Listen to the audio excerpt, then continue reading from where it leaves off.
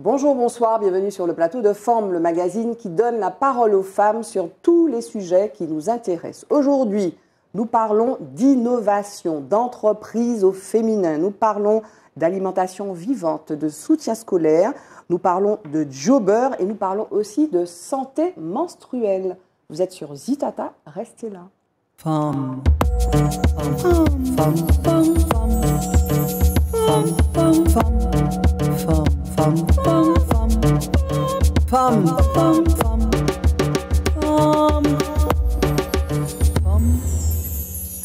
Aujourd'hui, je suis un peu troublée parce qu'il y a tellement de femmes sur le plateau de forme. Il y en a plus que d'habitude et il y en a même en visio qu'on va retrouver tout à l'heure. Il y a avec nous Yona Namrit. Coucou, il faut dire bonjour comme ça. Il y a avec nous, on, va rester à ma droite. Il y a Gladys avec nous, il a Russe. Comment ça va? Ça va bien et toi? Il y a avec nous Célia, Célia Laurenti. Je regarde mes notes, excusez-moi, je vous dis qu'elles sont nombreuses. Comment ça va Célia Laurenti? Ça va très bien, ravie d'être euh, sur ton plateau aujourd'hui. Voilà, c'est sympa, vraiment, je suis vraiment ravie. Plus il y en a, euh, plus je suis contente. Et puis on va retrouver dans quelques instants une de vos euh, camarades, Elodie Placide. Voilà, après pour notre rubrique... Oui, oui. Eh ben, on la voit, on la voit, on la voit. Salut, salut. Euh, pour la rubrique Focus. Mais on va parler de la même chose. On va parler de la bourse paille, mais bon, au-delà de la bourse paille, donc vous êtes toutes lauréates, mesdames, on va parler d'entreprise, on va parler d'innovation, on va parler d'entrepreneuriat féminin. Est-ce que vous pouvez vous présenter? On commence par la plus bavarde, j'ai l'impression. Gladys, qui s'est reconnue, Gladys. Ah ben, écoute, bonsoir Barbara, merci de m'avoir invitée. Alors, je suis Gladys Hilarus, 33 ans, euh, à la tête de Crudité. Donc, Crudité, c'est un jeu de mots, hein, crudité. Mhm. Et euh, moi, euh, je suis spécialisée dans l'alimentation vivante, dans la naturopathie, mais surtout dans l'alimentation vivante. Alors, juste point de définition, parce qu'au début, je disais oui, naturopathe, je connais, je connais un monsieur Daniel Jodin qui fait de la naturopathie. Mais dit, oh non, non, non, non, alimentation vivante. C'est quoi la différence Il n'y a pas de différence, hein, c'est juste une spécialité. Je me suis Dans la naturopathie, je me suis spécialisée dans l'alimentation vivante. En fait, c'est le fait de manger cru et végétal. Mhm. Alors, euh, justement, tu m'as parlé de ce naturopathe, et moi, j'ai connu une naturopathe également à, la même époque, j'étais euh, adolescente. Et du coup, c'est elle qui m'a soignée de ma maladie orpheline grâce à l'alimentation vivante, cure de jus de légumes, euh, graines germées et tout et tout. Ah, voilà. Donc, c'est comme ça euh, que je me suis spécialisée dans la naturopathie parce que ça avait marché sur moi. et donc, tu as, tu as créé une, une, société, un concept aussi, mm-hmm. crudité. C'est ça. On y vient tout à l'heure. Célia Lerandi, Nuka Jobé, c'est écrit sur son, son t-shirt. Comment ça va? Eh, Ça va très bien. Alors, raconte-nous, donc, euh, présente-toi, s'il te plaît. Oui, donc je suis Célia Lerandi, donc je suis ingénieure en système d'information et télécommunication. Donc, ça fait une dizaine d'années que j'évolue dans ce milieu de l'informatique, mais appliqué à différents métiers, donc euh, dans la distribution. Euh... Ça fait très high-tech. Data scientist Eh bien, pas du tout. je pense que beaucoup de personnes ne connaissent pas le. En fait, j'ai un poste qu'on appelle assistance à maîtrise d'ouvrage. Je suis à la frontière entre les personnes ah, techniques. Voilà, donc les personnes qui sont euh, vraiment techniques, des développeurs, mhm. et les personnes qui vont utiliser les outils qu'on va développer. Parce que mhm. ces deux groupes de personnes n'utilisent pas le même langage. Donc je suis entre les deux, je suis l'interface, et puis je fais un peu de gestion de projet. Et donc, voilà, je suis à l'origine de Nuka Jobé, donc qui est mhm. une plateforme, une application mobile de mise en relation entre des jobbers et des, des, clients. Donc ça peut être des particuliers ou des entreprises qui ont besoin d'aide sur des petites tâches du quotidien, donc sur du bricolage, du jardinage. Euh, mhm. Alors quand tu dis ingénieur, si tu as fait des études d'ingénieur. Tout à fait. C'est quoi les études que tu as faites? Une école d'ingénieur. D'accord. Où est-ce? À Troyes. D'accord. Mm. Et alors, est-ce que parce que ingénieur, ok, on peut être ingénieur, on a envie de faire un truc, et puis on se dit que je vais créer ma boîte. Donc tu as créé ta société. Alors en fait, je, suis, je joue sur les deux tableaux. Je suis toujours salarié actuellement, ah. donc je suis ingénieur salarié. Et en parallèle, je développe euh, mon application, donc Adjobé. Euh, on, va, on va y revenir. Donc, Yona Namrit, oui, comment ça va? Ça va bien, merci Barbara. Ça va? Merci de m'accueillir. Euh, donc, toi, présente-toi s'il te plaît. Alors, je suis Yona, Yona Namrit. Je suis porteur du projet Up You. Up You, qui est un cours de soutien personnalisé sous format jeu vidéo. Mhm. L'idée de se dire qu'on va arrêter euh, d'être en, mode un peu père fouettard, à dire aux enfants, bon ben vas-y, euh, tu ouvres le livre, etc. Et euh, plutôt coller un peu aux nouvelles architectures de famille et se dire, bon, ben, qu'est-ce qu'on va faire pour euh, aider le parent par rapport à toutes les postures, notamment les femmes? Il faut savoir que, d'ailleurs, moi, je suis maman et maman solo. Ah oui, alors, je t'ai entendu dire ça, maman solo. voilà, euh, oui, voilà. Bonjour, je m'appelle Liona, je suis maman solo.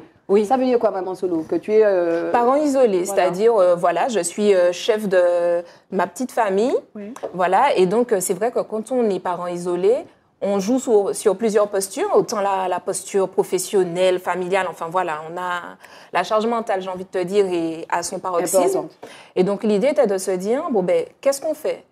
Est-ce que, sachant que l'engagement parental est vecteur de réussite scolaire pour l'enfant, Qu'est-ce qu'on fait? Est-ce qu'on attend juste d'être en mode burn-out ou frustration ou culpabilité de parents?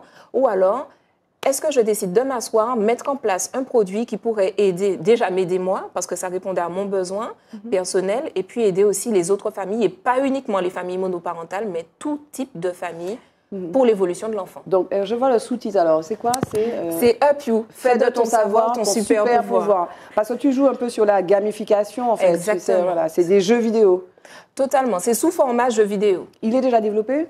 On est en phase prototypage. Tu vas travailler avec euh, Célia Système d'information. Alors, juste petit retour en arrière. Système d'information, redis-nous un petit peu. Dans une entreprise, c'est Dans une entreprise, le système d'information, c'est tout ce qui va permettre de gérer toutes les informations de l'entreprise et de gérer les flux entre ces différentes informations. Et donc, il faut c'est très large, en fait, sécuriser ça, système d'information. Oui, tout à fait, bien sûr. Quand on voit ce qui s'est passé la à la sécurité, CTM, euh, Oui, oui, la sécurité, c'est une branche, c'est une spécialisation. Hein. C'est vraiment un métier euh, à part entière le, hacking là, de la CTM, c'est une défaillance du système d'information alors, ce n'est pas une défaillance, c'est qu'il y a beaucoup de, hackers qui s'attaquent à des systèmes d'information partout, euh, partout mm. en France et dans les, en, Martinique, dans les Outre-mer, oui, partout. Et puis ensuite, ils demandent des rançons.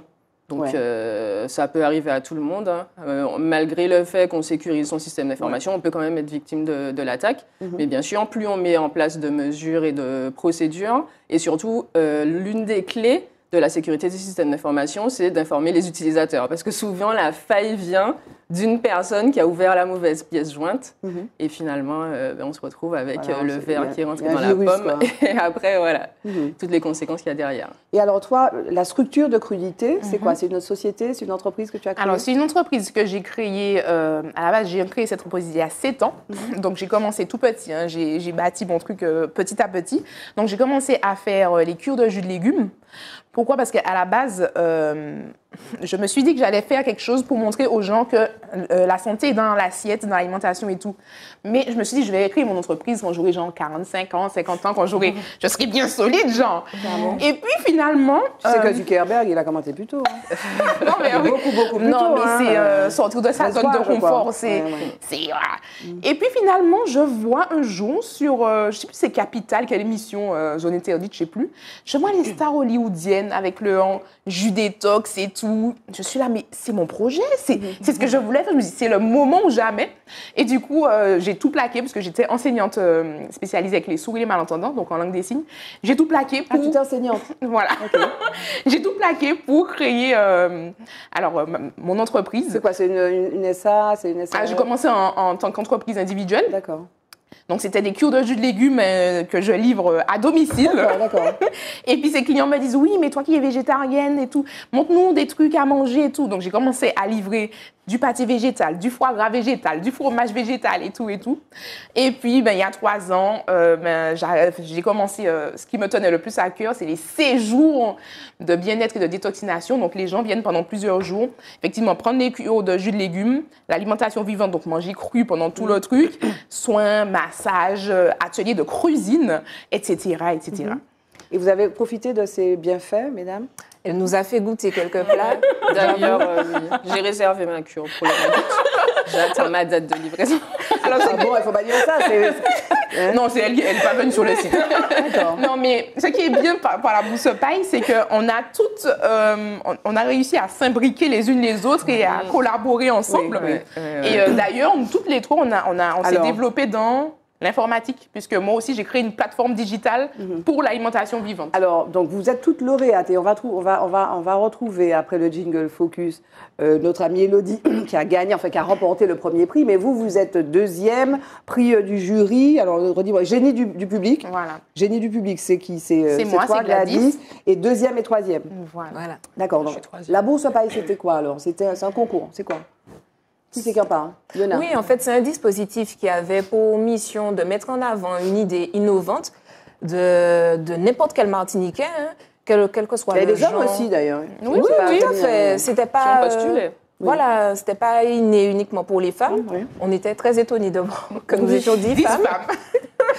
c'est Célia qui avait mis ça en avant, qui a demandé directement la question parce que ça m'avait étonnée, parce que le concours était ouvert à tous. À la clé, c'était quoi? C'est quoi? C'est un prix?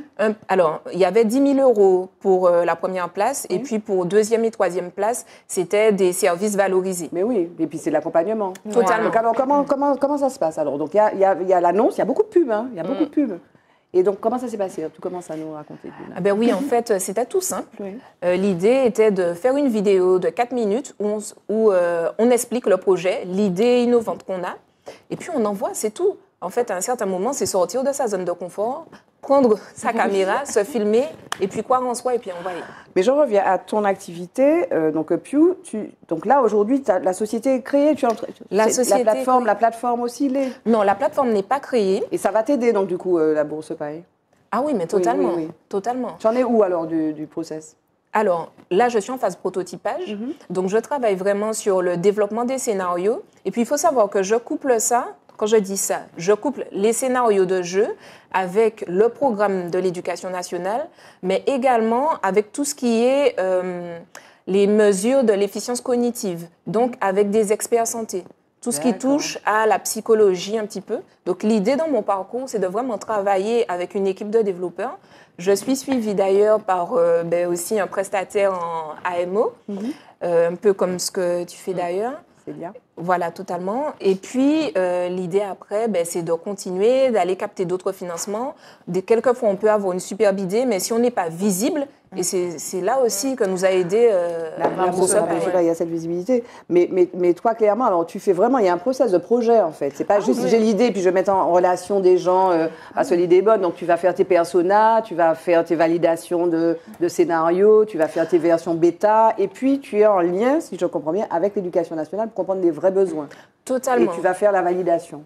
Tout à fait. L'idée, c'est OK, il y avait une idée, mhm. on va la tirer, mhm. on va travailler avec l'équipe technique parce qu'à la base, je ne suis pas du tout issue euh, de, la, de la tech. Mhm. À partir de là, on développe, enfin, je travaille sur le développement avec euh, le, développeur et puis euh, voir aussi avec tout ce qui est ingénierie pédagogique, les acteurs, et là, pouvoir aller vers une première version, pouvoir la tester, faire ce qu'on appelle le POC, donc la, la preuve de concept de l'outil voir où est-ce que ça bug, est-ce que ça prend bien, est-ce que mhm. les gens, parce que ce sont de nouveaux usages, est-ce que les gens sont en accord avec ça, et puis aller au fur et à mhm. mesure vers le développement. Ok. Jingle Focus, on va retrouver notre amie Elodie là, qui nous attend, j'espère.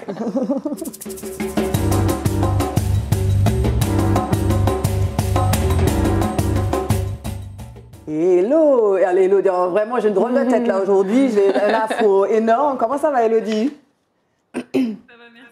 Ça va, merci d'être là, merci euh, de nous rejoindre. Tu n'as pas pu être avec nous sur le plateau, hein, sinon tu l'aurais été volontiers, je suppose.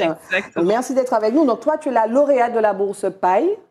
Euh, présente-toi, s'il te plaît, dis-nous qui tu es. Alors toi, c'est le projet Cliti et c'est euh, parlant de toi que j'ai évoqué la santé menstruelle ou la précarité. J'ai préféré la, le côté positif du mot santé à précarité menstruelle. Est-ce que tu peux te présenter, du coup, euh, merci en tout cas euh, pour, euh, pour tout cet effort logistique. Donc moi c'est Elodie Placide et j'ai créé le projet donc Cliti, donc qui mhm. s'accentue autour de la santé féminine au global. donc j'ai créé une marque de produits d'hygiène menstruelle, donc où je vends des serviettes hygiéniques lavables et des culottes menstruelles qui sont entièrement fabriquées en France en circuit court et local et surtout qui sont adaptées en fait au flux hémorragique qu'on va souvent retrouver lors de pathologie gynécologique, mais ça arrive aussi euh, lors du postpartum, par exemple, ou à l'adolescence, quand on a ses premières règles. On a du coup, c'est difficile de trouver des protections qui vont y correspondre. Mhm. Et à côté de ça, en fait, parallèlement, euh, je fais de la sensibilisation en entreprise sur le sujet, euh, sur les sujets en fait de santé féminine au travail. Donc, ça va être les pathologies gynécologiques au travail, mais aussi les règles au travail, comment se sentir mieux dans son espace de travail et l'adapter en fait à la santé plutôt que l'inverse. Alors, toi-même, alors, parce que j'aimerais qu'on comment dire, qu'on s'arrête deux secondes sur comment on passe à une idée de projet. Parce qu'il y a une idée. Toi, tu étais, toi, tu étais concerné parce que tu as une maladie rare. On va y mhm. revenir tout à l'heure. Donc, toi, tu étais, tu es atteinte d'endométriose. Exactement, c'est ça. Je suis atteinte d'endométriose depuis toujours. Et du coup, j'ai eu un parcours assez chaotique en fait avec euh, les médecins et les traitements. J'ai essayé pas mal de choses, plein de choses n'ont pas fonctionné. Et euh, de toute façon, euh, on, on guérit pas vraiment de l'endométriose, ce qui fait que c'est quelque chose avec lequel il faut vivre au quotidien. Et, et c'est par c'est par là en fait que j'ai cherché à développer des solutions, dont des protections sans perturbateurs endocriniens, sans produits chimiques qui vont en fait aggraver la maladie mmh. et surtout accompagner les femmes au quotidien dans leur travail qui sont atteintes de ces pathologies. Oui, parce que tu disais, enfin, en lisant ton, ta bio, ta présentation, tu disais que toi, euh, atteinte d'endométriose, tu t'es finalement, parce que tu t'es renseigné, comme c'est le cas, j'imagine, de beaucoup de femmes qui sont atteintes de cette maladie, qui, qui, a mis du temps à être reconnue. Hein. Euh, d'ailleurs, je crois que le, le diagnostic, c'est entre 7 ans, enfin, c'est quelque chose de très long, 7 ans et plus de, et plus de 10 ans. Tu t'es rendu compte que les, que les protections périodiques, les serviettes hygiéniques, comme on dit, étaient elles-mêmes pleines de perturbateurs endocriniens. Quoi. Donc, c'est euh, voilà, c'est le cercle vicieux. Mm. C'est exactement ça, c'est que les protections jetables, en fait, de par le blanchiment du coton, de par la présence de plastique, il y a pas mal de perturbateurs endocriniens et de produits chimiques nocifs pour la santé. Et forcément, euh, quand on a déjà une pathologie hormonale en particulier, c'est compliqué et, euh, et, ça va venir dérégler le système, créer des irritations aussi sur le long terme et pas du tout aider, en fait, euh, à aller mieux et à vivre mieux au quotidien sa maladie. Donc, c'est pour ça que je suis passée sur des choses de plus saines et sans perturbateurs endocriniens en particulier. Mais alors, mettons produit, c'est quoi? Je, comprends, hein, tu vas me dire si je me trompe. Donc, je comprends que tu, tu prodigues des conseils aussi pour les entreprises parce qu'il faut aller vers cette mentalité-là. Et moi, je, on, on, en a déjà parlé ici, mais il y a je crois que c'est la ville de Saint-Ouen qui a mis en place le, ah le congé menstruel. Donc, c'est une avancée aussi. Euh, donc, tu conseilles les entreprises, tu alertes peut-être sur le fait que des femmes malades une fois par mois, c'est peut-être pas leur faute, peut-être qu'elles ont un problème. Donc, c'est ça que tu fais? Et puis, il y a des produits, quoi. C'est du service et du produit que tu, euh, que tu euh, prodigues, c'est ça? On t'entend pas. Les serviettes hygiéniques lavables. Ah, vous m'entendez? Vas-y, vas-y, non, c'est bon, c'est bon. Maintenant, c'est bon. Je t'en prie, c'est bon. Donc, euh, du coup, j'ai créé des serviettes hygiéniques lavables et des culottes menstruelles qu'on peut retrouver. Tu as déposé ce brevet, Elodie? C'est un brevet que tu as déposé? Pas encore, mais euh, bientôt. D'accord. bientôt, je suis un peu en retard. Ok, mais il faut faire vite. Hein, D'accord, mais je veux dire, tu ne commercialises pas des produits qui existent, quoi. Tu as développé ta propre gamme non, non, ce sont des produits qui, enfin, les produits existent, mais par contre, j'ai développé mes propres produits qu'on ne retrouve nulle part ailleurs et qui sont ah. spécifiquement euh, créés pour ma marque, en fait, et donc qui m'appartiennent. Euh, et qui ont bah, évidemment leur secret de fabrication, vu qu'on est sur des produits adaptés aux pathologies. du coup, pardon, c'est lesquels? Donc, serviettes hygiéniques lavables et culottes menstruelles. D'accord. Vous le connaissez ces produits-là Oui. vous les a montrés Ah oui. ah, oui, ah oui, ah oui. Ah oui. Et alors, dis-nous, dis-nous comment alors. Donc, tu es lauréate. Félicitations, hein, au fait. Dis-nous comment tu es rentrée dans, ce, dans, cette aventure de la bourse paille et puis pourquoi tu es allée et puis ce que ça t'a amené euh, jusqu'à maintenant, s'il te plaît. Alors du coup, je me suis lancée dans l'aventure de la bourse paille parce que euh, je me suis dit que c'est vraiment une bonne opportunité pour amener mon projet plus loin et pour mhm. développer vraiment euh, le côté sensibilisation aussi et me faire accompagner par des experts, me faire connaître aussi, parce que c'est assez compliqué quand on est une jeune entreprise. Donc euh, j'ai fait ma petite vidéo et je me suis dit euh, on va faire au max et on va voir ce que ça donne. Et j'étais agréablement surprise du coup d'être sélectionnée avec les filles en fait.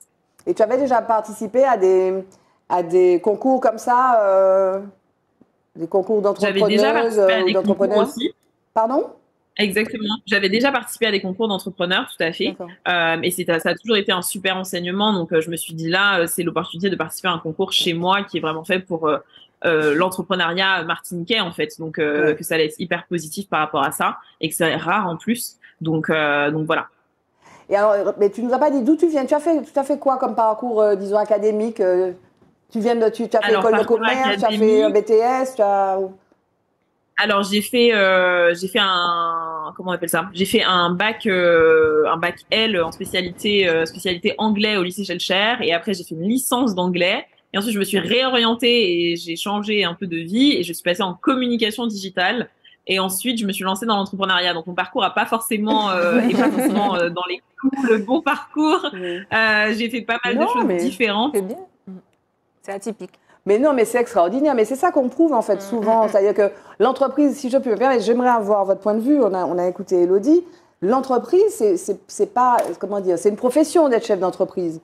Il y a l'idée, il faut valider l'idée. Donc, mais là, vous êtes dans des parcours d'entrepreneurs, n'est-ce pas, mesdames? C'est ça, totalement. Oui. Mm-hmm. Et au-delà de ça, donc comment, qu'est-ce qu'il ce qu'il faut pour faire ça?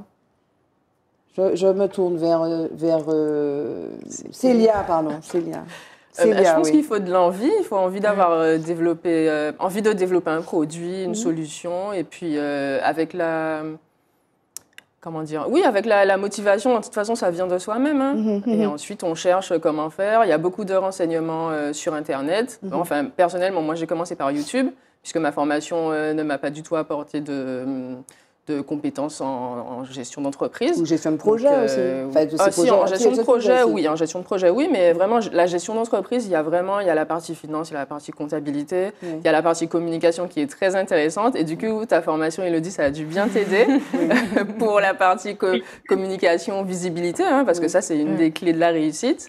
Et euh, donc voilà, au début, on s'auto-forme, et puis la bourse paille, c'était l'occasion un peu de structurer toutes les connaissances qu'on avait, mhm. et puis de vraiment les appliquer à notre projet sur... Euh, parce que enfin, me concernant, comme je suis salarié, euh, je travaille sur deux, deux tableaux en parallèle. Pourquoi tu restes encore salarié alors parce que parce que j'ai pas encore osé euh, sauter le pas. Donc voilà, c'est la raison pour laquelle je suis encore salariée. Mhm. Et donc c'est difficile de vraiment se, se, se consacrer 100% à son projet mhm. sur une longue période parce que moi je travaille sur mon temps libre pendant les vacances, mhm. les week-ends, parfois le soir et c'est pas forcément évident. Mais alors, je reviens un petit peu à la démarche d'entreprise. On a parlé de com, tu disais qu'Elodie peut-être était avantagée, mais c'est pas que ça. Et toi, tu nous as bien dit, euh, Yona, la, partie euh, validation de process, euh, les personas, il y a une étude. Toi, toi par exemple, tu es jobber, et même aussi mm. Elodie et aussi mm-hmm. Gladys, il y a une étude de marché qui doit être faite. Parce que c'est intuitif. Ah oui, bon, il y a des gens qui jobent et il y a des gens. Mais comment se rend compte l'offre et la demande? Comment, Tu as travaillé déjà ton étude de marché ou pas? Alors moi, je n'ai pas fait d'étude de marché parce mhm. que l'étude de marché, c'est pour valider en fait que la solution, enfin qu'il y a vraiment une demande, mhm. mais finalement, on ne sait jamais vraiment tant qu'on ne s'est pas confronté au marché. Donc euh, dans mon cas, on ne peut pas vraiment parler d'études de marché. J'ai mhm. juste regardé un peu les statistiques sur la population martiniquaise euh, sur l'INSEE et puis euh, j'ai bah, échangé un peu avec... Une bah, documentaire, mais très, très, très, très, limité.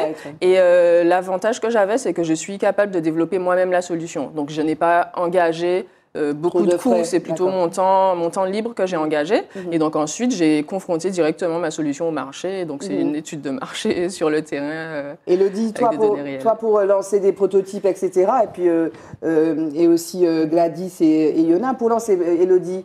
Tu as fait une étude de marché, toi? Alors j'ai fait j'ai fait passer des questionnaires à, à quelques centaines de personnes pour savoir justement s'il y avait un intérêt pour mon produit, s'il y avait un intérêt euh, euh, pour développer quelque chose de spécifique. Et, euh, et ça a répondu oui. Donc ça m'a confirmé le fait de le lancer. Après, je, je suis aussi d'accord avec Célia sur le fait que c'est que une fois que c'est vraiment en ligne, que c'est vraiment mmh. là que les gens peuvent se procurer le produit, qu'on a vraiment des réponses à nos questions pour le coup. Mmh. Quelle forme ça a pris, vous, Alors moi aussi, j'ai fait, euh, j'ai fait comme elle, un questionnaire. Moi, j'étais vraiment dans la rue. j'ai pris deux, trois copines. Je leur ai donné le questionnaire. Ah on a vraiment euh, été dans la rue et du coup, euh, ça s'est bien passé. Et j'ai eu un parcours atypique comme Elodie où effectivement, j'ai fait un bac en communication, STG. Ensuite, j'ai fait des études en créole, mhm. langue culture régionale. Et ensuite, j'ai tout recommencé en sciences du langage, langue des signes. Et ensuite, j'ai tout recommencé en naturopathie. Donc, effectivement, euh, j'ai eu un parcours atypique comme elle, mais euh, comme elle, je pense que tout nous sert hein, actuellement. Oui, je suis d'accord. C'est très bien, tout. On accumule. Voilà. Exactement. Et alors, parle-nous de ta maladie rare, parce qu'on a, on a fait très vite allusion à ça. Donc, c'était quoi? Le point de départ, c'était ça? C'était ça. Donc, durant mon adolescence, euh, je commençais à avoir, avoir des gonflements et tout. Et euh, j'osais pas en parler à ma mère. Pourquoi? Parce que ma mère me disait euh, attention quand tu fais pipi, il faut bien t'essuyer, euh, sinon tu auras des boutons, des trucs comme ça. Et moi j'ai vu j'ai vu que j'avais une grosseur. Et j'ai où une grosseur Au pubis. Osé dans, dans l'aine. Et du coup je me suis dit oh, ma mère va, va, va me gronder, peut-être que j'ai mal fait, qu'est-ce que j'ai fait et tout. Et du coup j'en ai pas parlé pendant bien peut-être six mois voire un an. Mhm. et du coup en plus c'est arrivé en même temps que la puberté. Et puis, bon, finalement, quand j'ai vu que ça commençait à se développer sur le reste du corps, par exemple les aisselles et tout, mm. pardon, mm-hmm. euh, là, je me suis dit, ah, là, il y a un problème. Donc, c'est là que j'en ai parlé à ma mère et euh, la longue errance médicale. On est passé de médecin en médecin. On m'a donné plein de médicaments, mais rien à faire.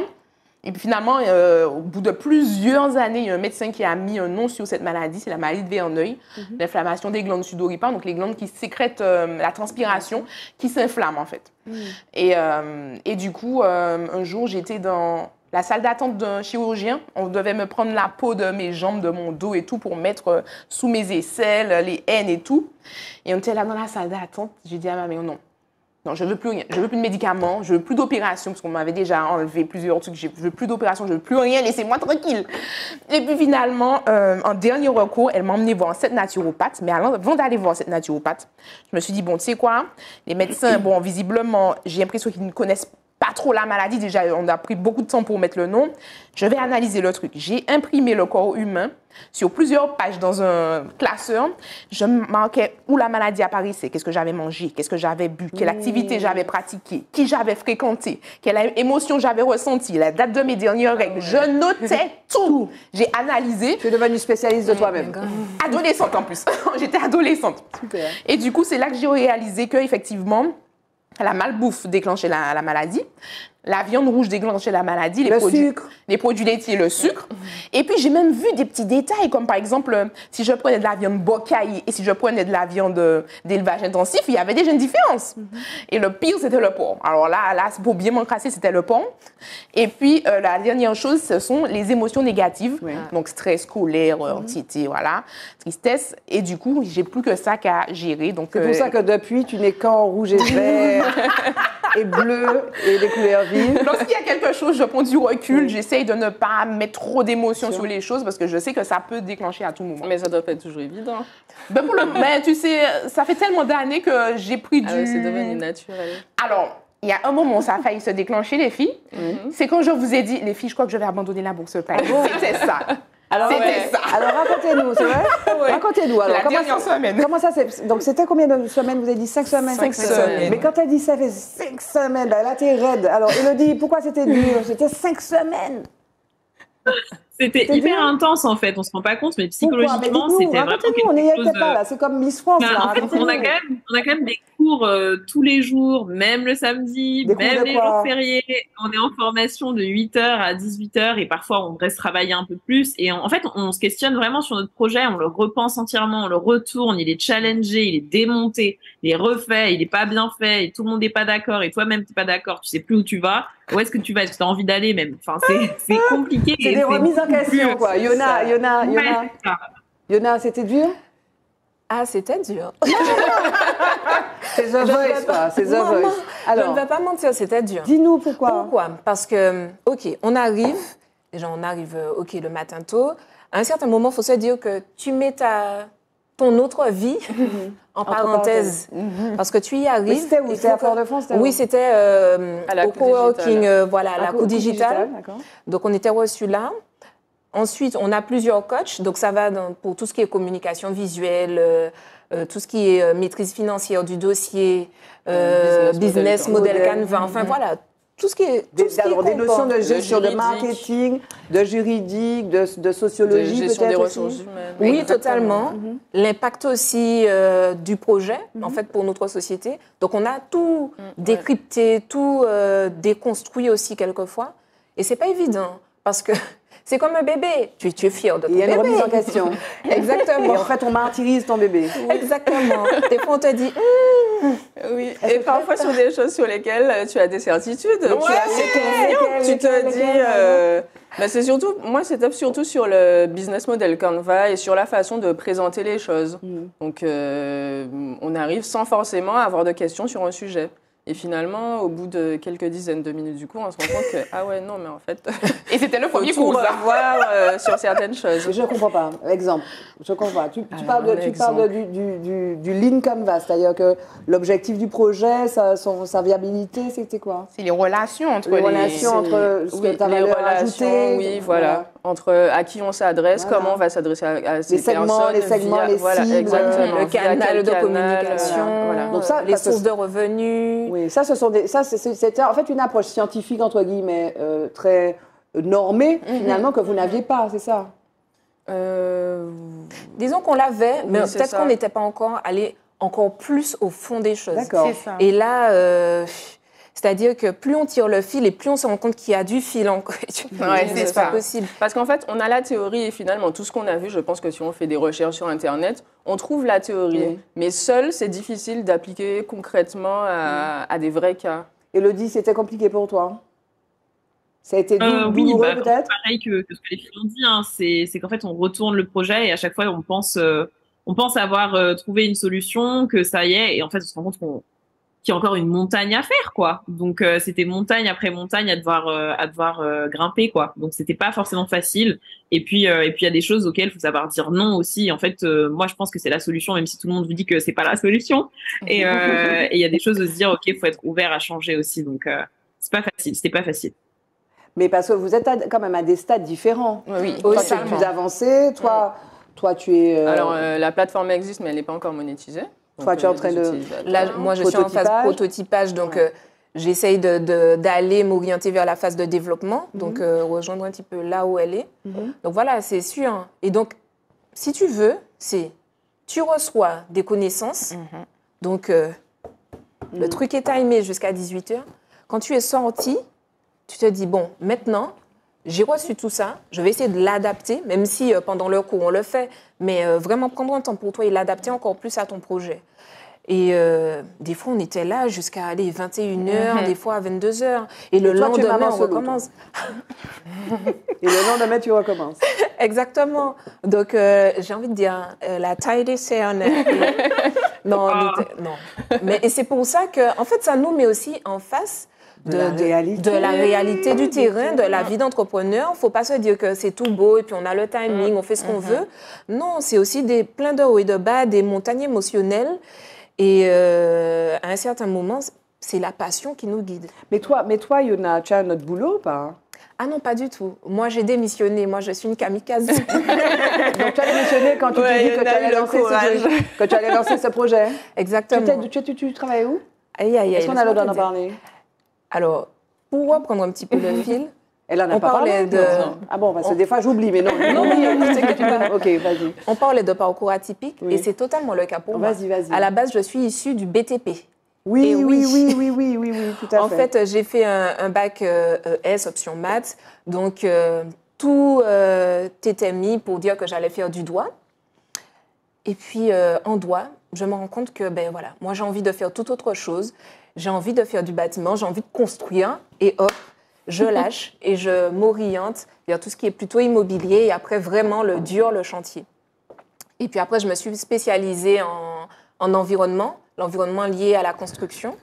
Donc effectivement, j'ai été, euh, j'ai été préventeur, j'ai été euh, formatrice aussi. Mhm. Et je pense que c'est là aussi. Euh, quand on est confronté à des enfants, j'étais, j'étais formatrice en CFA, mhm. Et euh, en CFA, quelquefois, c'est la, dernière roue. Euh, c'est-à-dire que la dernière roue de garage, bon, on ne sait pas quoi faire. Tu vas rien faire, voilà quoi. Ouais. Hmm. Et en fait, je me suis confrontée à des jeunes qui étaient super intéressants, passionnants, mais euh, dont on ne voyait quelquefois pas, la valeur. Ou la Totalement le hmm. potentiel. Et ce qui est intéressant quand on est formateur en CFA, c'est qu'on est face à un, type d'enseignement qui est totalement différencié de ce mhm. qu'on peut retrouver dans l'éducation nationale. Et moi, j'ai adoré cette partie-là. Et je me suis dit non. Enfin, ça a toujours fait son petit bonhomme de chemin. Je sais qu'un jour, je vais apporter quelque chose à ces jeunes parce que c'est incroyable. Les années sont passées, mais jusqu'à maintenant, j'en parle avec beaucoup d'émotion parce mhm. qu'ils m'ont apporté beaucoup. Voilà. Donc, euh, j'ai continué après, hein, mon petit bonhomme de chemin, toujours dans le BTP. Et puis, on connaît aussi le turnover euh, ben, en Martinique hein, de ce secteur. Qui recrute, hein, si j'ai bien compris. Qui recrute, mais euh, qui en même temps, hein, voilà, on n'en dira pas plus. Mhm. Euh, donc j'arrive à un moment où je suis en entreprise, donc plus formateur. Mhm. J'avais euh, décidé de démissionner. J'aime beaucoup les challenges, donc j'avais envie d'en voir plus. J'arrive en société et puis bon ben voilà, patatras à un certain moment. Après quelques années, la structure est en liquidation. Et donc je me dis bon, qu'est-ce que je fais? Eh ben, euh, je me suis dit, ben, on va retourner sur les bancs de l'école. Et, tu as fait l'ESSEC Business School. Exactement. Donc, il euh, faut savoir que quand on est en chantier, quand on est dans un projet de construction, c'est mhm. toujours hein, de la gestion de projet, mais c'est juste un autre secteur. Donc, j'ai continué en fait cette voie-là et euh, j'ai juste ouvert le champ des possibles en me spécialisant en management tu as, de projet. C'est à Sergi Pontoise, ça, non? Mais tu l'as fait à Non, non, non, c'était en Martinique. En Martinique, d'accord, ok. Voilà. Il y avait une structure, enfin, une un relais, en fait, qui était ouvert en Martinique. Cette formation de combien de temps, ça c'était De 18 mois. D'accord. C'était dur, non? Oui. je ne vais pas mentir, c'était dur. Mais c'était très intéressant. Euh, ce qui était aussi intéressant, c'est-à-dire que c'était normalement ouvert aux, euh, cadres d'entreprise. On n'oublie pas que j'ai dit que j'étais, euh, je sortais d'une liquidation, donc euh, chômage. Oui. Je n'avais pas forcément les moyens d'aller vers, vers ce type de formation. Mais voilà. Et tu l'as faite? Je l'ai faite. Tu as pris tes sous? Tu avais, un compte formation peut-être Un CPF Non, c'était. Euh, même là, il y, a eu, euh, voilà, il y a eu un petit cafouillage de ce côté-là. Mhm. Mais j'ai eu la chance d'être accompagnée euh, par un manager du Pôle emploi qui a vu en moi un potentiel et qui m'a dit écoute, Super. va là. J'ai dit mais maintenant, c'est pas possible. Vu le prix de la formation, c'est pas possible. ça pas... coûtait, dire Ça coûtait près de 20 000 euros. Donc j'ai dit maintenant, mais je peux. Qu'est-ce qui me. Mais je peux pas. Et ça t'a donné quoi alors? Parce que ça t'a donné quoi? Ça eh ben Déjà, ça m'a permis de, de, de, continuer sur cette voie de la gestion de projet, de mhm. regarder en termes de finances, de regarder en termes de structuration. C'est l'approche globale. Exactement. Et puis même pendant euh, la formation, ben, j'ai trouvé du travail, voilà. Mhm. Et puis euh, pour arriver en tout cas à UpU, le Covid 2020, euh, c'est compliqué, parce qu'on n'oublie pas mais, mais ma ma particularité voilà, euh, familiale. Il faut partir tôt, il faut rentrer tard, quelquefois. Euh, et je me dis, bon, j'ai de l'ambition pour moi, il mm-hmm. n'y a pas de souci, mais j'en ai aussi pour mes enfants. Or, je ne suis pas forcément tout le temps là. Mm-hmm. Qu'est-ce que je fais? Et là, je me suis dit, non, il y a quelque chose à faire. Je pensais être un ovni. Et puis, on parlait justement de tout ce qui est études de marché. Eh ben, par rapport à ce que j'avais déjà reçu euh, en, CFA des enfants par rapport à, d'autres parents que j'ai pu rencontrer. Alors moi, euh, la difficulté était que je n'avais pas assez de temps dans une journée, mais d'autres parents, c'était des lacunes. Mhm. Ou encore, euh, d'autres avaient des vies nettement plus compliquées que, ce, que ce qu'on mhm. peut savoir. Mhm. Et donc, je me suis dit non, on va essayer de, faire de mettre en place un outil qui est flexible et qui s'adapte à tout type de famille pour voir cet enfant germer et fleurir. On va, on va retrouver Elodie qu'on va, qu'on va libérer. Elodie, la suite pour toi, c'est quoi? C'est, La suite, la suite, pour toi, c'est quoi pour moi, ça va être de continuer la sensibilisation en entreprise et surtout euh, d'essayer de, tourner mon, modèle économique sur ça, donc d'en faire mon activité principale et de pouvoir distribuer des, protections hygiéniques euh, via les collectivités, via la région et via aussi les entreprises pour permettre en fait, pour réduire la précarité menstruelle et permettre aux femmes de ne pas avoir à elles-mêmes de bosser de leur poche, en fait, euh, pour les protections et surtout euh, que dans les entreprises, la santé des femmes soit prise en compte au mieux. Donc il y a l'approche entreprise, mais il y a l'approche aussi militante là. Hein. Là, ah on, te voit, on te voit, on te voit, voilà, on dirait Davis là, avec ton bateau de, de, de pèlerin, n'est-ce pas? Un petit peu, oui, j'avoue, un petit peu. Bon, et qu'est-ce que je veux te dire? Tu as un site internet? Projet Cliti? Exactement, c'est cliti.fr, c'est l i t y.fr et on peut retrouver tous les produits. Ok, on va te libérer. Le temps pour nous de mettre un petit jingle, mot de femme. Merci, Elodie, et puis euh, bravo Merci encore. Merci hein, beaucoup à vous. Voilà. Merci. Merci. Merci beaucoup. Merci. jingle, euh, mot de femme.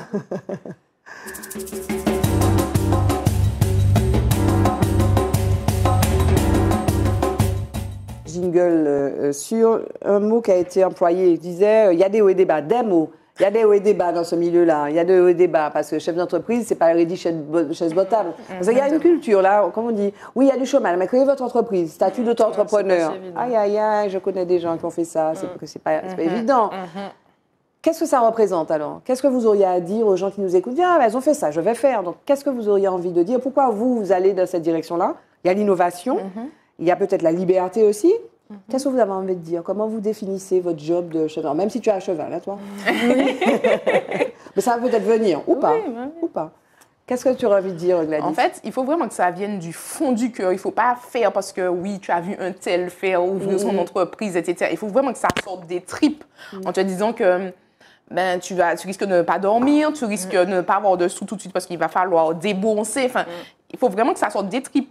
Tu sais, quand tu travailles pour euh, quelqu'un, pour un patron, tu vas vite te fatiguer, vite en avoir marre. Mm. Quand tu travailles pour toi, là, c'est toi avec toi-même. Tu pas. c'est ça. Tu peux pas. Et du coup, il faut vraiment que, que tu sois passionné, motivé. Mm-hmm. Sinon, si tu fais juste pour faire parce que c'est tendance d'ouvrir son truc et tout, mm-hmm. laisse ça tomber. quand, on est, quand on est maman solo, deux enfants, donc tu es dans l'innovation, mais parce que tu as été salarié, tu es au chômage aussi. Comment tu as abordé cette, ce nouveau statut? C'est quelque chose, tu te dis, tu es une kamikaze, tu t'es défini comme ça tout à l'heure. C'est pas plus dur que le reste. Mais il y a quand même une insécurité ou pas? Oui, il y a une insécurité. On ne va au début, au début. Oui, au début. En fait, c'est avant de sauter. Avant de sauter, on se dit, mais, mais en fait, je, suis, je suis quand même sur une bonne assise professionnelle. J'aime mon métier. Est-ce que je vais faire ça vraiment? Puis on est là, on cogite, on cogite. Mais comme elle disait, c'est au fond de ses tripes. Mhm. À un certain moment, c'est se dire, est-ce que j'y crois? Mhm. Et moi, honnêtement, je me suis dit un moment, c'est maintenant ou jamais. Si je ne le fais pas maintenant, je ne le ferai pas.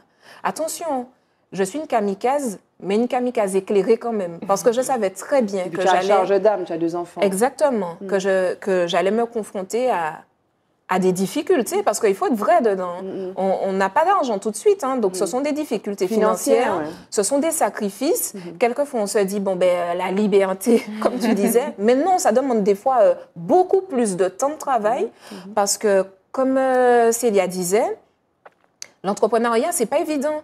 Mm-hmm. même si nous, on fait de la gestion de projet, mais euh, au début, ben, je savais pas où aller? Est-ce que mm-hmm. je commence à aller taper vers euh, les institutionnels, mm-hmm. CTM, etc. Enfin, euh, vers qui je, avec qui je me fais accompagner? comment je fais pour porter ma voix? Il y en a tellement. Enfin, c'est ça. Et c'est se dire à un certain moment qu'il faut être une battante. Il faut se dire, j'y crois, mhm. j'ai confiance en moi. Et euh, comme elle disait, c'est pour ça que si on n'est pas vrai avec soi-même, mhm. Parce qu'on est imparfait. Quelquefois, on a aussi ce syndrome de l'imposture. On va se dire, ah, je ne suis pas légitime. je ne suis pas légitime, je ne suis pas ceci. Donc finalement, la bourse à vous a aidé aussi à vous rassurer à ce niveau-là, non? Oui, oui, tout à fait. Et si je peux ajouter à ce que Yona disait, euh, moi, je voudrais dire que même si on n'est pas sûr de vouloir se lancer euh, totalement, ben, on peut toujours le faire à côté, à côté d'une activité salariée. Et puis, en fonction de l'activité, parfois, il y a moyen de se lancer, euh, de commencer petit et de voir mhm. qu'il y a de l'attention, qu'il y a de l'attraction, il y a des gens qui sont intéressés. Et puis ensuite, au fur et à mesure, mhm. commencer à passer totalement à l'entreprise quand on est sûr qu'on a déjà euh, de la et ton entreprise actuelle dans laquelle tu es salarié est, comment dire, est bienveillante à cet égard Oui, oui, ils sont bienveillants, sinon je ne serais pas là. Voilà, mais ce n'est pas toujours le cas aussi. Oui, malheureusement, c'est pas forcément double, le cas. Double tâche, c'est compliqué. Effectivement, c'est pas forcément le cas, effectivement. Ça dépend, euh, oui, ça dépend peut-être du, type d'activité, et mhm. puis euh, ça, ça engage aussi ben, tout son temps libre. Juste un mot, donc, euh, pardon oui. Je disais que ça, il faut travailler sur son temps libre. Ça fait qu'on sort du boulot pour, pour commencer un autre travail. Il travail, il faut travail, double travail. Hein. Maman du solo, il travaille, il travaille plus, il travaille puis les enfants, il travaille. Donc voilà. Et euh, qu'est-ce que je veux dire? Oui, donc le Luca Jobé, donc c'est au stade où ça c'est en train de se développer. Donc finalement, toi, ton concept va, va, va, comment dire aider certains à sortir du, de l'informel un petit peu. C'est oui, c'est ça. C'est la digitalisation et la sécurisation de la mise en relation entre les jobbers et leurs clients. D'accord. Et puis, on va aussi permettre bientôt, donc c'est sur ce sur quoi je travaille actuellement, sur euh, les déclarations auprès de l'URSSAF pour que ça soit euh, possible de façon automatisée depuis la plateforme mhm. pour que les particuliers employants n'aient pas à le gérer eux-mêmes euh, avec l'URSSAF. Donc là, la Bourse Paye vous a vraiment aidé à franchir notre palier oui, au, début, ça, au début, ça nous a déstabilisés. Comme elle a dit, le premier coup, on a pris une gifle. Mhm. Et euh, tout à l'heure, là, tu l'as dit, donc là, maintenant, vous êtes sûr et tout. Mais au début, on, a douté. On s'est dit, ah, mais mhm. attends, j'étais sûr de mon projet. Mais toi, ton projet était déjà lancé. Oui, mais en fait, euh, c'est temps. Ah oui, quand même. C'est temps. Mais en fait, euh, le premier coup, c'était business model Canva. Hein. Ce premier cours-là m'a donné une gifle parce que je me suis, j'ai réalisé, parce qu'en fait, le business model Canva te permet de voir. Tu as neuf cases, là. C'est voilà, tu, le concept, le UVP, euh, c'est euh, les segments, c'est la distribution, c'est la validité. ça te donne tu vois, tu as une vision globale des choses. Et là, tu te dis, mais attends. Tu n'as pas eu ça, tu pas eu ça. J'aurais pu faire ça comme ça, ça comme ça et tout. Et là, tu te dis, ben oui, en fait, tu peux euh, limite tripler ton chiffre d'affaires si tu, tu, mets les choses bien, quoi. Et du coup, oui, ça nous a ça nous a beaucoup servi. Et toi, là, tu te demandais, mais pourquoi c'est dur et tout? Je te donne un exemple. Hein. On avait un cours, c'était de la compta, plus précisément de la modélisation financière. On est éreinté à la fin de la journée et là, euh, le coach nous dit Bon, ben en fait, ce que je vous ai appris pendant toute la journée là, c'est ce que j'enseigne en quatre mois, en quatre mois habituellement. C'est pour te dire à quel point c'était vraiment intense. Oui, mais c'est une chance, c'est extraordinaire cette bourse. Parce ah que c'est un accélérateur de business pour vous. Exactement. Mais il faut s'accrocher, quoi. Il faut, il faut, il faut, Et la richesse aussi, c'est qu'on était tous tout ensemble, et chacune avec euh, un niveau différent de son projet. Et Donc on pouvait apprendre euh, ben, des questions des autres, qui étaient peut-être plus avancées dans le processus, des questions de personnes qui débutaient, qui étaient peut-être moins avancées. Mhm. Et du coup, ça permettait d'avoir des visions différentes euh, auxquelles on n'aurait pas forcément pensé. on était dans une vraie team. En fait, j'avais l'impression que c'était une équipe. C'est ça, il y avait comme, ce plateau. Exactement. Il y avait de l'intelligence euh, collective. Lorsqu'une avait un, souci, on réfléchissait ensemble. C'était vraiment, euh, j'ai adoré. Ça, ça c'est la parce qu'au début, quand je suis arrivée, je me suis dit, oh, dans quelle ambiance ce sera Tu sais, est-ce que c'est en mode, euh, tu sais, compétition, compétition ouais, ouais, c'est le même projet, mais j'imagine qui sélectionne. que des femmes, que des femmes. oh là là. Et clichés. C'était génial. Alors, à ce stade de l'émission, il nous reste un peu moins de 7 minutes. On va parler d'hommes. On a parlé beaucoup de femmes, de sororité. Quel est l'homme dont vous voudriez parler? Quel est l'homme le plus important? L'homme, euh, le grand tâche, petit tâche Alors, il y a paille, bien sûr, mais ne dites pas toute paille. en plus, il s'appelle l'homme paille. Non, non. Mais bon, lui en hommage, hein, super. Totalement. Euh, donc, quel est l'homme? 5 à 3, 2, 1. Allez, Jonas, à toi. ben moi, je dirais mon père. Mhm. Parce qu'il m'a donné cette Comment s'appelle-t-il? Il s'appelle Daniel, Daniel Namrit. Daniel Namrit. Voilà. Il m'a donné cette fibre au niveau de l'éducation. Euh, il était enseignant? Oui, il, est toujours. Il est, toujours. on le salue alors. Bah, oui, oui, oui. Donc Il, est, il, est, il est enseignant? Oui, totalement. Il est euh, directeur d'école. Et donc, euh, ben moi, toute petite, hein, j'ai toujours été dans le bureau de papa, à regarder et à sentir son engouement pour. il travaille notamment en ZEP, enfin zone d'éducation prioritaire, là où normalement, quelquefois, on n'a pas forcément envie d'aller mhm. parce que c'est compliqué, c'est difficile. Mais lui, ben, je crois qu'il m'a donné aussi cette envie de défi. Et cette envie de se dire que on va faire en sorte que ces enfants puissent vraiment progresser. Progresser. Il m'a donné ça, cet amour de l'autre. Célia, l'homme euh, qui t'a le plus ah bah, influencé, celui dont tu voulais parler. Je ne veux pas être originale, je veux aussi parler de mon papa. Qui est, euh, oui, qui est aussi passionné de ce qu'il fait. Mon, mon, Comment papa, c'est euh, Luc Lérandi, qui est un passionné d'histoire, donc d'histoire plus précisément d'histoire de la Martinique, mhm. et encore plus précisément d'histoire des chemins de fer. Et euh, donc, c'est un vrai passionné. Donc, il a écrit des livres sur le sujet. Et d'ailleurs, on travaille ensemble, euh, puisqu'il a un site web sur lequel il écrit régulièrement mhm. sur différents sujets. Donc, cette fois-ci, sur l'histoire de la ville de Sainte-Marie. Et euh, donc, il est vraiment investi à fond dans ce qu'il fait sur différents, à différents niveaux. Donc, voilà, c'est très inspirant. Et Gladys hein? Moi, je vais essayer de changer un petit peu. Je vais parler de mon compagnon qui a été bien patient pendant euh, ben, tout ce mois de la Bourse Paille, puisque je partais chez moi à 5 h du matin pour aller à la Bourse Paille. Je revenais, il était quasiment 21 euh, h. Donc, euh, mais il n'était pas seul. Il y avait ma mère, il y avait la voisine. Mais il a été bien patient pendant tout le long, même avant, même avant la Bourse Paille, même après la Bourse Paille, où ben, j'ai un emploi de temps assez chargé. Mm-hmm. Je pars du département et tout. Et du coup, il gère tout. Il gère les enfants. Il, gère, il, est, il est extrêmement patient. Franchement, j'ai deux enfants et du coup, euh, ben lui, il, s'intéresse vraiment au bien-être de la femme, à savoir euh, quelles sont les limites, quelles sont. Enfin, je sais qu'il travaille beaucoup là-dessus et ça me fait vraiment plaisir. Ça m'étonne parce que je lui ai pas demandé ça, mais lui. Messi, Messi, comment il s'appelle, tu m'as dit? Et, Johan. Johan Messi, il faut continuer. on lui a demandé ça, on t'a demandé ça. Et puis, tu as, ta mission, c'est de faire savoir ça à tes camarades. Donc, merci. et euh, ok, il me semblait que j'avais une question. Ben non, j'ai pas la question. Euh, non, voilà, j'ai pas la question. Jingle, le mot de la forme, le mot de la fin.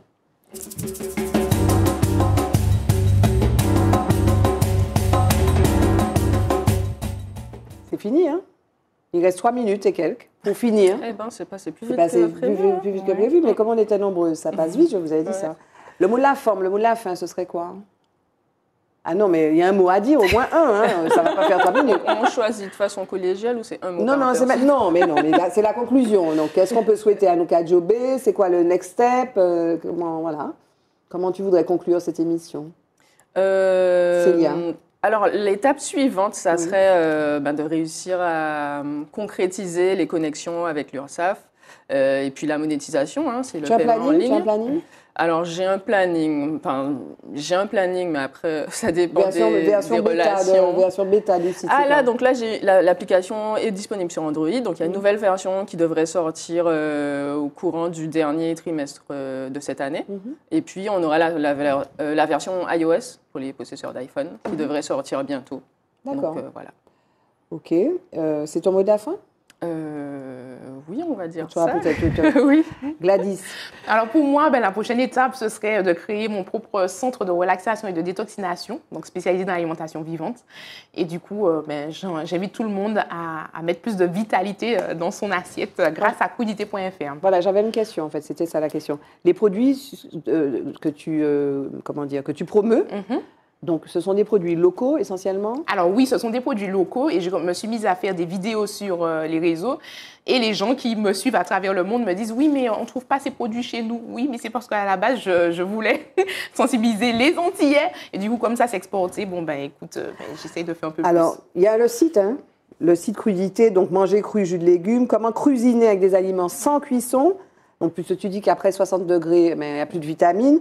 Alors, il y a des menus c'est très joli, il y a de belles photos. Euh, chocolat chaud et cru à la courgette. Exactement. la courgette a un goût neutre, donc effectivement, on peut le transformer en sucré, en salé. En... Tu, l'as testé, tu as testé tous tes menus? Ah, mais bien sûr D'accord. Euh, et, les gens peuvent poster des. Les, voilà, c'est comme un mini réseau social, en fait. Mhm. Euh, les gens peuvent commenter mes recettes, mais aussi déposer leurs recettes, liker, mhm. etc. Donc, c'est vraiment une communauté. Et puis, et puis voilà. Tu as 42 000 personnes. Ouais, euh, même ça a déjà dépassé là, maintenant. ça va vite, exponentiel. Et si on rassemble tous les réseaux sociaux, euh, ouais. Donc, le mot de la fin, c'est Vitalisez votre assiette, vitalisez-vous, mais mettez du cru et du vivant dans votre assiette. Yona, le mot de la forme, le mot de la fin, c'est quoi? Alors déjà pour Pew, pour euh, reprendre UpU, donc euh, c'est euh, le cours de soutien personnalisé sous format jeu, sous format jeu vidéo. Mhm. On met en relation des enfants de primaire et collège avec des enseignants, qu'ils soient actifs ou retraités, et cela hors temps scolaire. Donc l'idée, j'ai envie de dire, si vous êtes parent, si c'est compliqué pour vous, ou si vous n'avez pas envie, parce que ça existe aussi, des parents qui malheureusement n'ont pas forcément envie de gérer cette partie scolaire, ben, n'hésitez pas à venir gonfler les rangs, venez nous supporter. Pour l'instant, on est en phase de prototypage, mais on a justement besoin de voir euh, l'intérêt euh, de la, de la société martiniquaise et puis au-delà d'ailleurs, qui euh, sera intéressé par ce projet. Les enseignants aussi, venez vous greffer. On recherche notamment aussi des ingénieurs pédagogiques, puisque l'idée est de vraiment cadrer les choses. Donc, on peut nous retrouver, on a un site internet également. Upew. Donc, Upew, voilà, u2pew.com, donc dans le navigateur, qui présente un petit peu notre vision. On est présent aussi sur euh, Instagram. Donc, euh, un peu on parle éducation décomplexée avec euh, Raise Me Mum. Donc, c'est un compte voilà, que j'ai. Et puis, le compte aussi de Pew, pew.app, u 2 p e w.a2p. Donc, n'hésitez pas. Et puis, on va très prochainement lancer du financement participatif. Donc, on a besoin de vous. L'idée, c'est d'aller capter des fonds pour vraiment aller vers la première version de l'application et donner à notre territoire un vrai projet innovant. Donc, euh, aidez-nous, mobilisez-vous. Donc, merci. Euh, je peux mentionner, j'ai oublié de mentionner le site web et les réseaux sociaux. Euh, Lucas Jobé. Oui, voilà. C'est écrit. Alors, sur, voilà. Donc, promo upu.com, lucasjobé.com aussi. et crudité. Point, C'était écrit derrière vous, hein, mesdames. Normalement, il y a eu, ah, y a eu, il y a eu des, enfin, en tout cas, les noms, les noms Nouka Jobé. Je remercie Yona Namrit. Merci. Célia Lerandi. Merci. Gladys Hilarus. Merci, Barbara. Et Elodie Placide qui était avec nous. Merci. Il y a beaucoup de noms euh, et beaucoup de femmes aujourd'hui. J'étais un petit peu troublée. Merci, mesdames. Avec plaisir. Et puis, euh, bon vent, bonne continuation euh, avec vos projets. Merci à vous, mesdames. Euh, merci à vous, téléspectatrices et téléspectateurs de Zitata, de nous avoir suivis pour ce nouvel épisode de Forme. Je vous retrouve euh, ben, mardi à 20h05 avec des femmes tout aussi extraordinaires et inspirantes. Merci, bye bye, à bientôt. Au revoir.